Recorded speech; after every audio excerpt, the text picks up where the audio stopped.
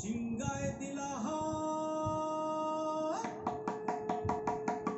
আর সিংহাসনী মধ্যে বাজিয়া উঠল ঢাক